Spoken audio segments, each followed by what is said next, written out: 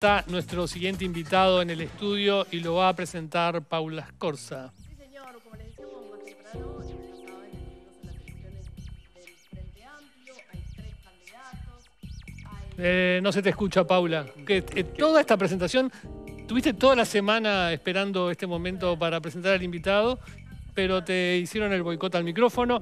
Eh, como decía Paula y no se escuchaba, eh, está concursando para, para ser el presidente del Frente Amplio, es diputado, está haciendo una intensa campaña, nos ha dicho que ha llegado con los restos de su energía porque la campaña es muy intensa. Le damos la bienvenida a Gonzalo Civila. Bienvenido. Bueno, gracias por invitarme. Un gusto estar acá. Muy bien. Vamos a dejar que la primera pregunta la haga Paula ahora que tiene Oh, micrófono. un pregunta- bueno, no, pero justamente a eso que decía Leo, que estabas ya con la energía bajando. eh, ¿cómo, ¿Cómo estás en este momento de campaña que faltan tan poquitos días? No, bien, bien contento porque ha sido un proceso intenso pero muy lindo.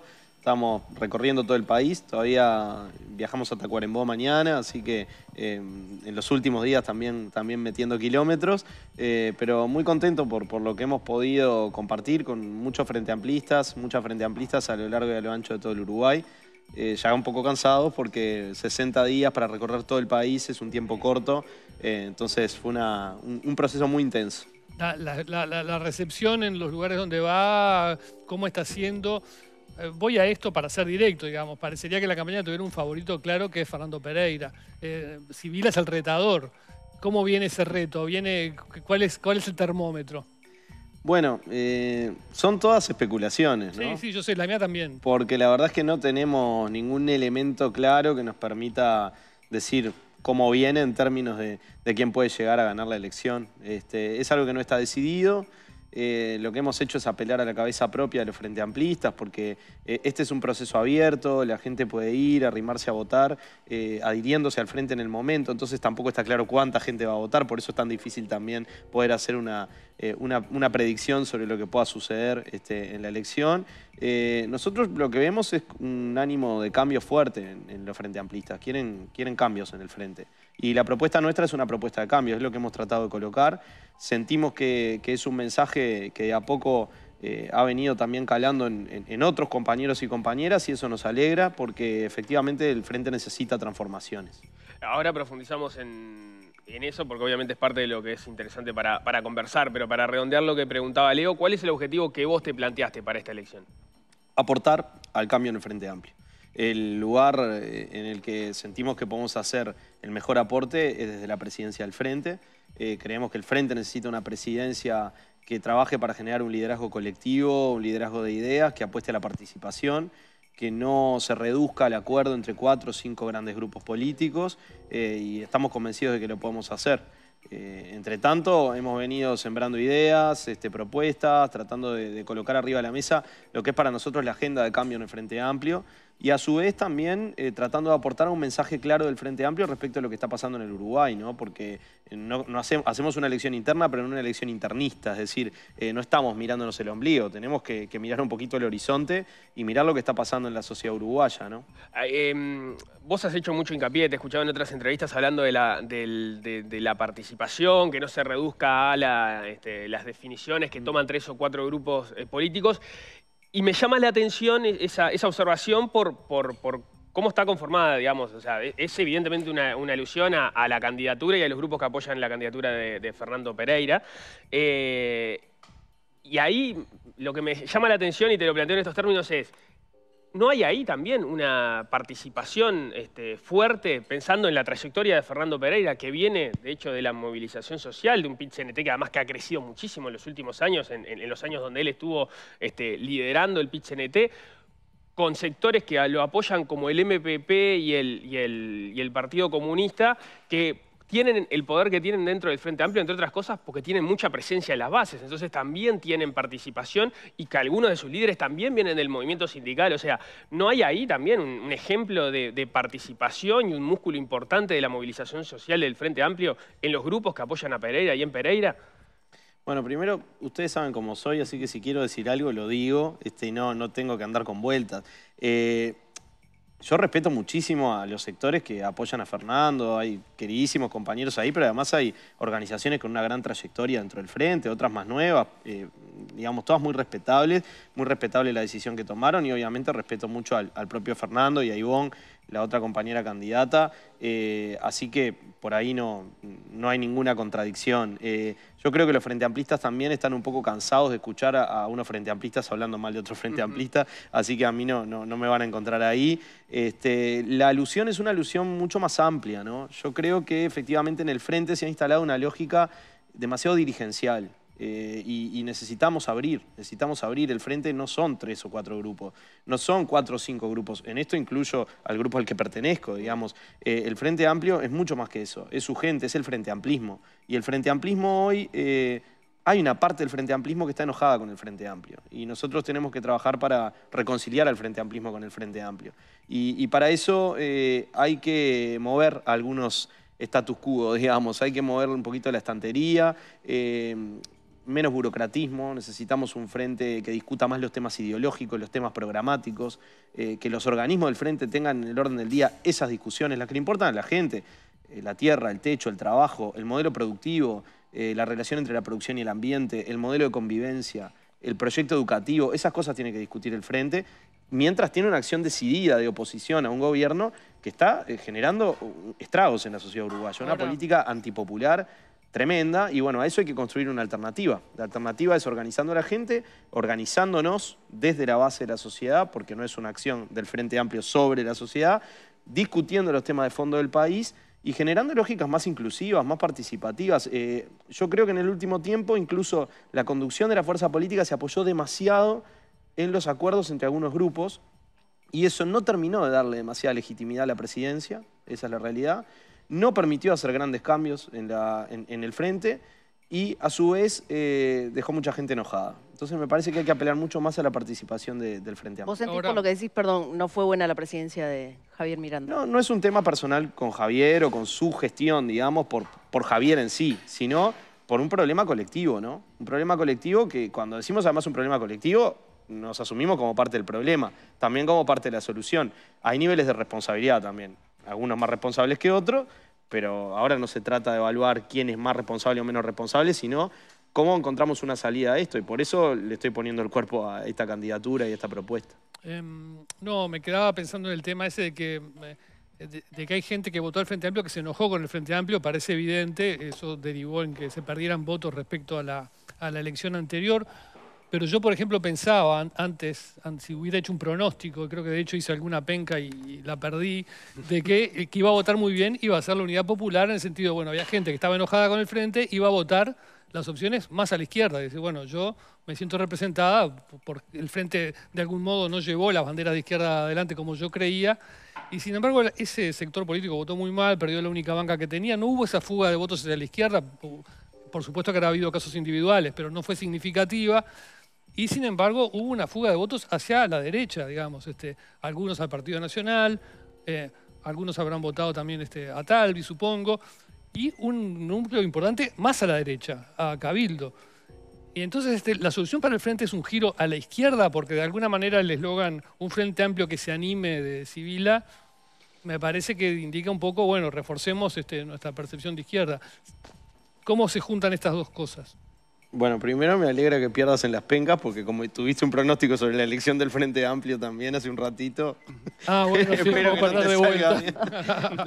Eh, Siempre pierdo las pencas. Lo segundo, bien, bien, bien, es un buen indicio. No, lo, segundo es que, es que creo que, tu pregunta contiene un, campo de análisis muy interesante y muy profundo, ¿no? Eh, yo creo que la gente, la enorme mayoría de la sociedad no analiza eh, la realidad política y social sobre la base de categorías politológicas. Digamos. Entonces yo no creo que la gente un día amanezca y diga, eh, me enojé con el Frente Amplio por izquierda, entonces voy a votar a quien está a la izquierda del Frente Amplio. Me parece que lo que sucede es que se van dando procesos de desconexión y, hay sectores sociales que no se sienten expresados, no se sienten representados. Y cuando no se sienten representados se da eh, muchas veces una suerte de representación social vacante, es decir, no se sienten expresados por nadie y después terminan canalizando su voto, su adhesión, en función de múltiples factores, que, analizarlos eh, en un ratito sería difícil, pero que además este, requieren de, de muchos insumos, ¿no? Yo creo que efectivamente eh, nosotros, y prefiero analizarlo en estos términos, en términos sociales, eh, perdimos adhesión en sectores de las capas medias, por ejemplo, sectores que eh, muchas veces sintieron que el Frente Amplio, si bien avanzaba en un proceso de mayor distribución, de crecimiento con distribución, eh, era más benevolente con algunos sectores muy ricos y pudientes de la sociedad que con sectores medios, por ejemplo, en el tema impositivo, este tema estuvo arriba de la mesa, sectores que eh, entendieron que el Frente no reaccionó adecuadamente frente a, problemas que se, que se enfrentó durante su gobierno, que no tuvo capacidad de recambio, de renovación de agenda. Eh, me parece que en los sectores populares también eh, hubo un corrimiento de muchos ciudadanos, ciudadanas que tenían por ahí la expectativa muy legítima de que el Frente Amplio resolviera algunos problemas materiales concretos de hábitat, de vivienda, de acumulación de dificultades. Y vieron avances, grandes avances en el gobierno del Frente, pero en un momento sintieron también un cierto estancamiento de esa agenda. Y bueno, hubo otros que en cercanía este, también lograron hacer una, una propuesta que, que los, los atrajo, los sedujo o entendieron que por ahí podía ir. Y esto no está pasando solo en el Uruguay. Eh, yo creo que hay propuestas o, eh, expresiones de derecha, de ultraderecha, que han canalizado el malestar de mucha gente con las democracias, con la forma de organización de la vida social que tenemos, ¿no? Hay una acumulación de malestar, de enojo, de decir, bueno, fui por acá, fui por allá, y la verdad es que esto no me termina de convencer. Muchos que se sienten muy lejos de la política, absolutamente alejados de la política, y vienen algunos con discursos eh, anti-establishment, ¿no? Dicen, nosotros no somos de la política, venimos de otro lado, y uno empieza a ver después cómo sigue formulándose ese discurso, termina siendo un discurso de violencia, de odio, de discriminación, de pobres contra pobres, y gana adhesiones. Este, y vos decís, bueno, frente a eso, ¿qué tiene que hacer el Frente Amplio? Y yo creo que animarse, animarse a qué? A plantear ideas valientes, ideas transformadoras. Este, me importa más eh, plantearlo en estos términos que decir, bueno, ¿cómo lo ubico en un eje eh, político-ideológico? ¿no? Eh, las ideas del Frente Amplio tienen que ser ideas de cambio social porque para eso estamos. Nosotros vinimos a la sociedad uruguaya para transformar la realidad. Si vemos que hay desigualdades en aumento, si vemos que hay gente eh, viviendo en condiciones en las que no debería vivir, bueno, esos son los primeros temas que el Frente Amplio tiene que tratar. Eso tiene que ser el ABC de su agenda. Ahora, te puede decir el que te está escuchando, bueno, estuviste 15 años en el gobierno, ¿por qué no hiciste esas transformaciones sociales que decís que, que querés hacer? Muchas se hicieron, ¿no? Eh, a ver, el salario real, eh, las jubilaciones reales crecieron sostenidamente durante por lo menos 13 años de los 15 años de gobierno del Frente. Eh, el gasto público social aumentó sostenidamente y eso permitió llevar adelante políticas que no se hubieran llevado adelante si el Frente no, gobernaba, porque la experiencia anterior y la que estamos teniendo ahora muestra eso. Transformamos en, en cosas muy, muy relevantes el país. Yo creo que nos faltó un trabajo político mucho más sostenido con la sociedad de organización, de conciencia, y en función de eso también de animarnos a tomar algunas medidas que eh, por ahí nos quedamos cortos. Bueno, por ejemplo, si mirás los resultados educativos o, yo qué sé, la, la violencia, el delito, ¿no? Son, son cosas que seguramente pegaron fuerte en algunas personas que decidieron no volver a votar el Frente Amplio porque se sienten tocadas en distintos aspectos que no se pudieron solucionar Sí. de Bueno, alguna manera. Viste que yo mencionaba esos temas dentro de los temas a discutir hacia adelante. Eh, en materia educativa, por ejemplo, el Frente Amplio invirtió lo que no se había invertido nunca en materia de educación. La infraestructura educativa en el Uruguay mejoró notoriamente. Los salarios docentes de los trabajadores de la educación mejoraron notoriamente. Falta, sí, pero se hizo mucho. Eh, hubo mucha inclusión de sectores que estaban fuera de la educación al sistema educativo. Ahora, eh, ¿qué nos faltó? Y yo creo que nos faltó un proyecto educativo claro.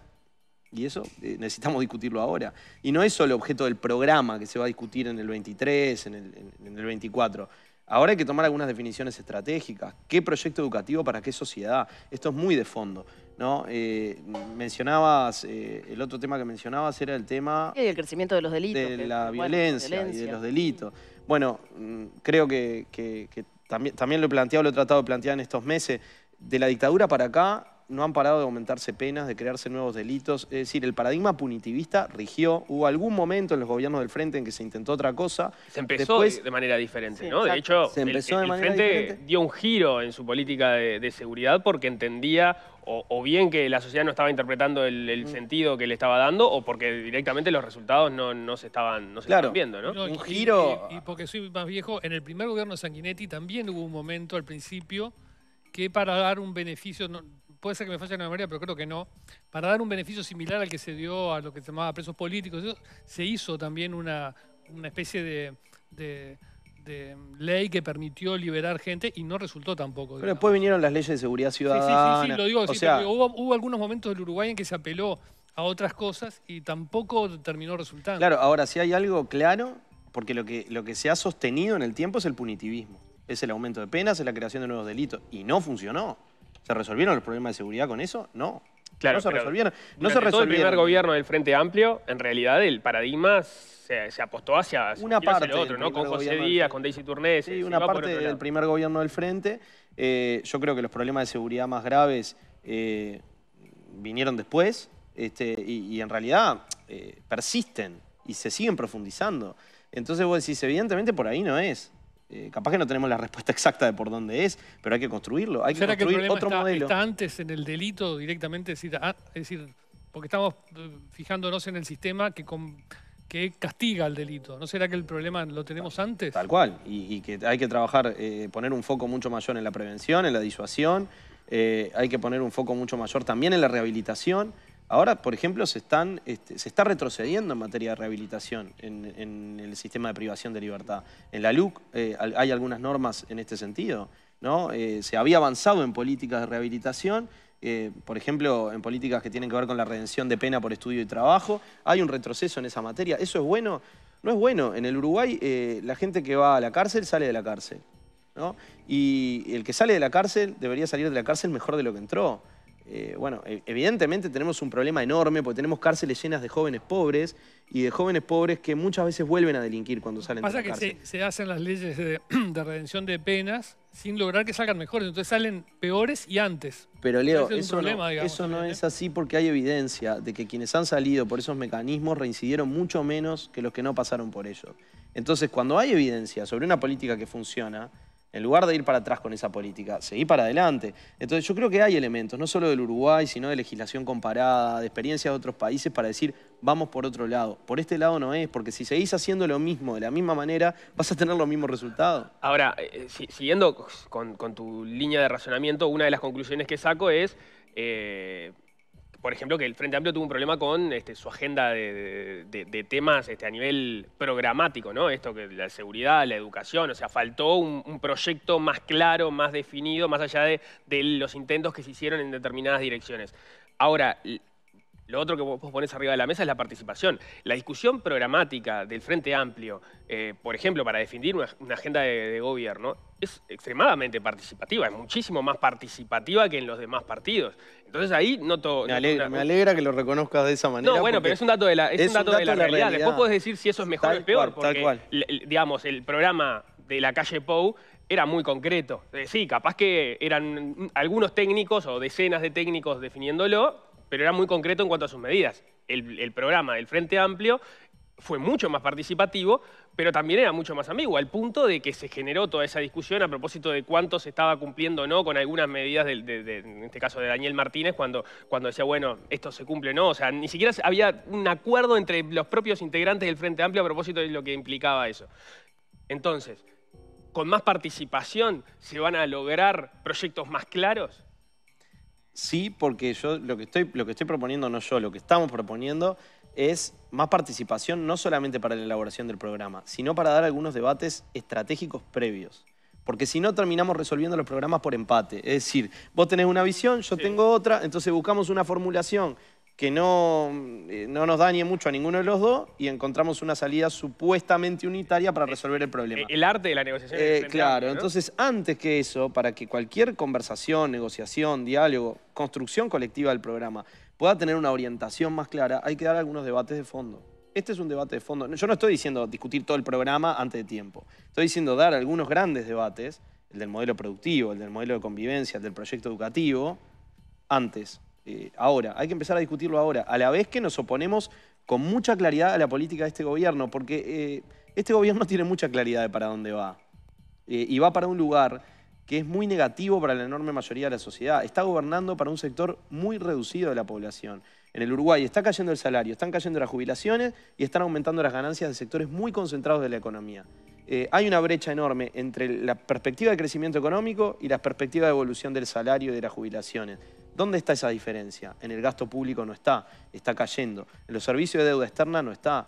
Está en sectores muy concentrados del capital, bajo el pretexto de que mañana eso va a derramar en el resto.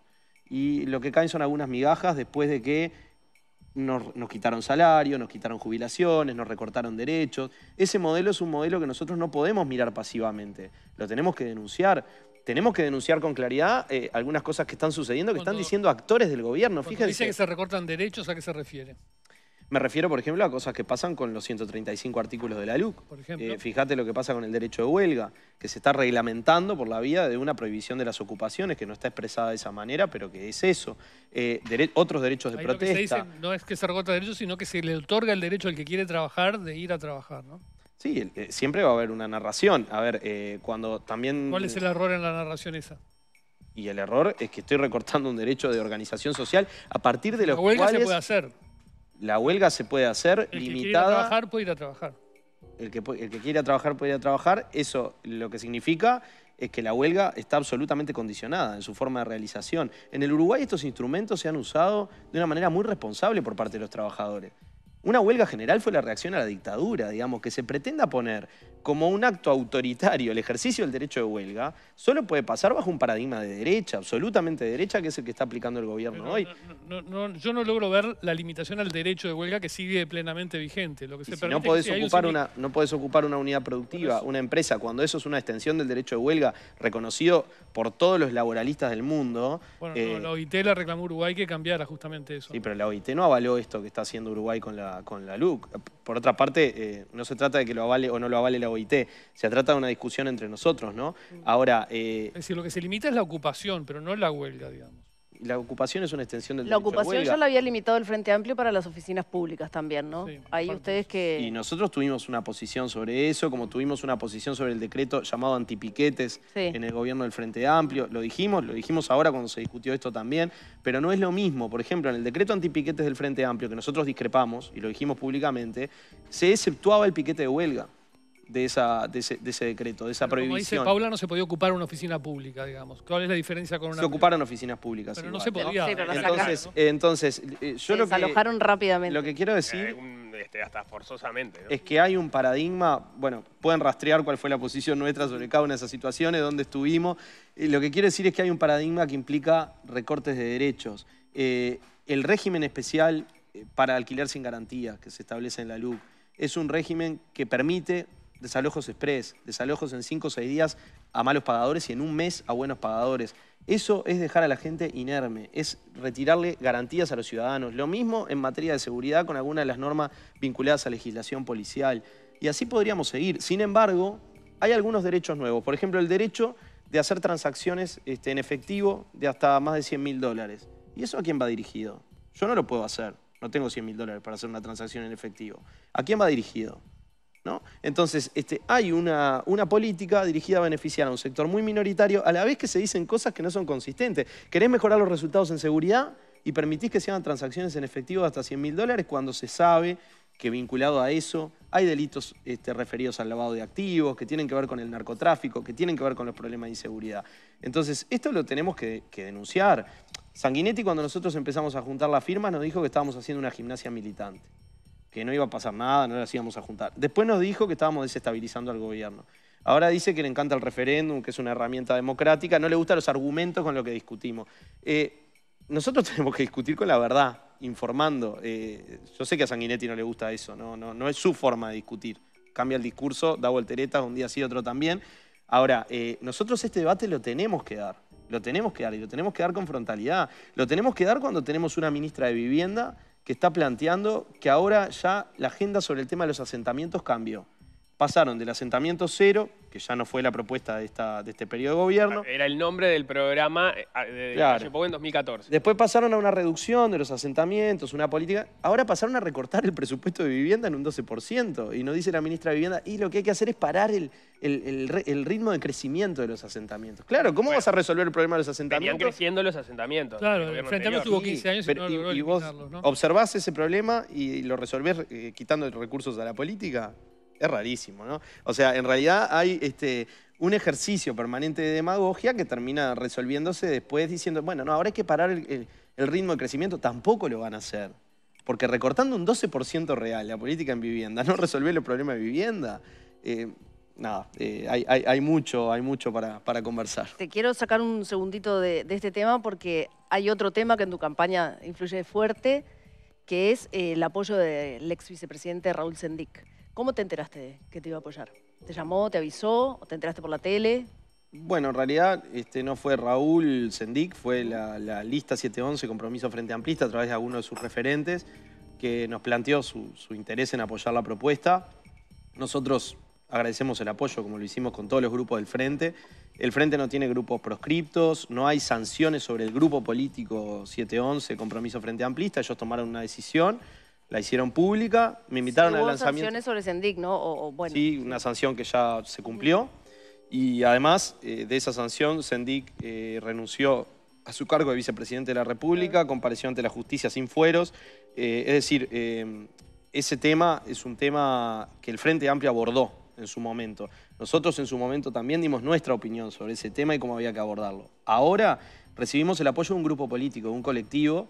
Eh, hay muchos sectores dentro del Frente. A mí me invitaron al lanzamiento de una lista, como me invitaron al lanzamiento de muchas listas, y fui como lo haría si fuera el presidente del Frente Amplio. ¿Cuál es su, bal- su balance hoy de todo el episodio Sendic? ¿En qué sentido? No, digamos, este, eh, hoy, ¿no? Viéndolo todo en perspectiva, porque usted dice, bueno, está, Sendic ya cumplió la pena, ya no, no eh, la pena rindió cuentas a la justicia, rindió cuentas internas en el Frente Amplio. ¿Cree que, que, el- Frente lo hizo todo, que primero, que Sendic lo hizo bien en su momento y cree que el Frente manejó bien todo el tema? Yo creo que el Frente necesita, eh, hacia adelante, porque de esto hay un aprendizaje, mejorar muchísimo sus controles y su acción respecto de todos los temas vinculados a la conducta de nuestros compañeros en la función pública. Eh, y esto me parece una línea de trabajo hacia adelante que va más allá de tal persona, tal persona o tal persona. Este, creo que a veces se personaliza mucho la discusión y estos problemas exceden a una persona eh, y hay que tener claridad respecto de cómo manejarlos en el futuro. Sobre eso, el compromiso más absoluto, como lo tuve en ese momento, lo sigo teniendo ahora, de actuar con, con celeridad. El Frente Amplio ahora integró su Tribunal de Conducta Política como corresponde, porque lo tuvo eh, desintegrado por un tiempo, eh, y hay, muchas situaciones sobre las que debe actuar. Tenemos un protocolo sobre violencia política hacia las mujeres, por ejemplo, porque hablando de la conducta política hay muchos temas, eh, un protocolo que es único en la región. Este, y, hay que actuar con celeridad, porque tenemos problemas de estos también dentro de la fuerza política, como en toda la sociedad uruguaya. Así que todo el compromiso de, actuar en, todas estas materias.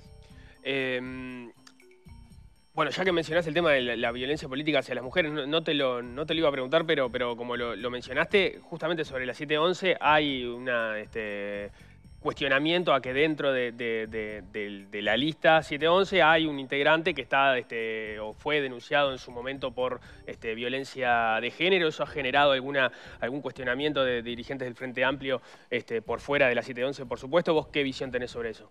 Que cual- sobre cualquier caso, denuncia o planteo que se realice hay que actuar eh, rápidamente con los mecanismos que tiene el Frente Amplio. Mm, Bueno, en ese caso la denuncia está presentada, ya es anterior, implicó que la persona que era alcalde después dejara de, este, de serlo. Eh, el cuestionamiento es que forme parte de una lista. El Frente Amplio tiene que tener normas claras para resolver esto. Las tiene que tener. Entendés que en este momento no, no lo hay y por eso no es fácil dirimir este asunto. Sí, porque aparte eh, te voy a decir que esos problemas los podés encontrar en cualquier sector político Ujú, sí, claro. eh, del Frente Amplio del país, ¿no? Lamentablemente, el problema de la violencia machista es un problema terrible en el Uruguay, terrible, y, y atraviesa obviamente a las organizaciones políticas también. Entonces lo que hay que tener son normas claras. El protocolo de actuación que hemos aprobado ahora yo creo que es una, una buena herramienta que además permite abordar estos temas eh, de vuelta con las garantías para todo el mundo, con las garantías para todo el mundo y actuando con celeridad. ¿Pero pensás que esta persona tiene que seguir integrando esa lista? Yo no, no quiero expedirme sobre una situación particular sobre la cual tienen que expedirse los espacios que están destinados a eso. Haría mal si lo hiciera, digamos, ¿no? Haría mal si lo hiciera porque eh, para algo hay un protocolo, para algo hay mecanismos de, de actuación. Yo lo que creo que cualquier persona que ejerza eh, situación, algún hecho de violencia de estas características, este, de las que estamos hablando, de violencia de género, eh, debe ser sancionado por la fuerza política. ¿El Frente Amplio está haciendo hoy una oposición muy tibia al gobierno? Yo creo que nos ha faltado nitidez, claridad, este, muchas veces para poder denunciar algunas de las cosas que conversábamos recién, de este modelo de transferencia de ingresos de los sectores más pobres y asalariados a los más ricos, de una política privatizadora, de una política que recorta derechos. Creo que se necesita más contundencia. Gonzalo Sibila, muchas gracias por la entrevista. Suerte en lo que queda de la campaña. No, muchas gracias a ustedes. No tomen en serio mis pencas que siempre resultan equivocadas. Arriba, una buena noticia. Vamos a actualizar ahora el estado del tiempo.